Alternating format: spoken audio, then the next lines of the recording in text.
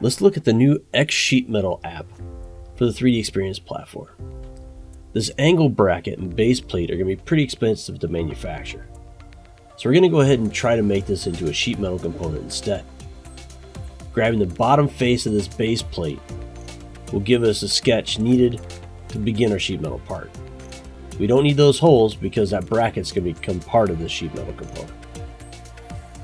Putting our first feature in, we'll look at the standard sheet metal functionality that we need with thickness, bend radius, and relief, and then we'll accept that command. We want to be able to have this saw slide very smoothly across parts, so we're going to bend up that edge there on the front, using a sketch as our base from bending. Selecting the sketch and a bent point.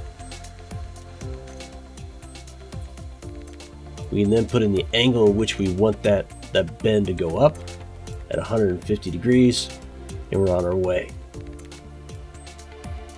We're going to pull some walls or some edge flanges, depending on what functionality you're used to calling it.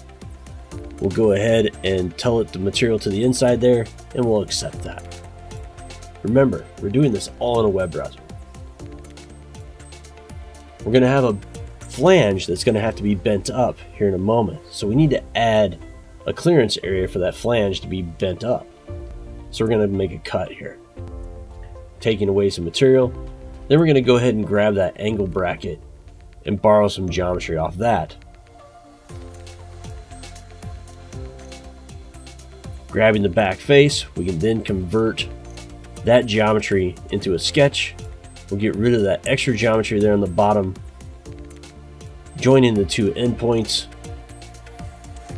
Just a single click there with my context sensitive toolbar, and we've got a closed sketch. That, that sketch does not have to be perfectly on that edge to start that flange. We'll go ahead, pick that sketch, pick, pick that edge, and we've got everything that we need to finish that feature off. Change the reliefs there so it fits in better. Maybe tighten the bend radius a little bit. And let's go ahead and do a check. We'll unfold the part and see if there's any interferences, which there is. So that flange does interfere with the part right there. Do a quick measurement. Looks like we got about 16 and a quarter millimeters. So we'll extend out that cutout that we did by 20 millimeters.